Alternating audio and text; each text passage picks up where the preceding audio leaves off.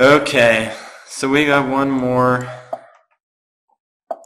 one more score needed in order to win the match. And what better way to do that than the Evans Gambit? It was the Lawrence Trent Gambit, Trent Gambit the last time. This time the Evans Gambit. So let me see. He's thinking a bit. So apparently E5 was a plan B, but it did feel as though he was getting really, really bad positions in the night arc, so he needed to do something quite different. Don't know why he's thinking so long. I think when you go for bishop e7, you're supposed to go knight a5 here. Who knows, huh?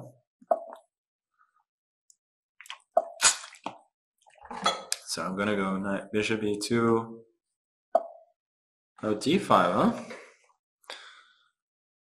That's interesting. Guess I'm gonna go queen a4. Don't want to think for too long. This looks very nice though. Queen c2 and I take back on e4 and he has got a real problem with his knight on g8. Okay. It develops, I'm simply gonna take it. Knight bd2 I guess.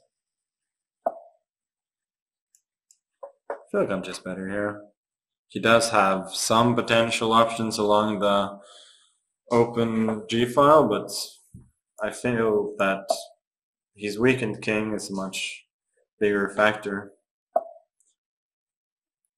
Queen c7, I'm just gonna go f4.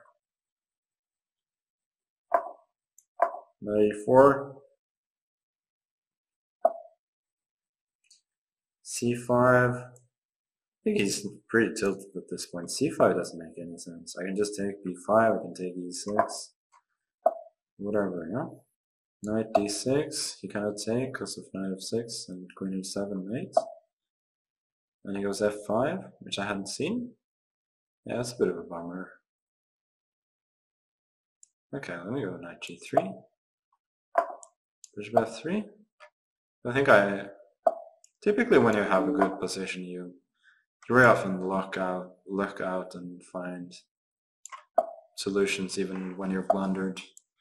In here, clearly, even though I blundered, I'm completely fine. Rook f6. No need to worry about the fork on e3.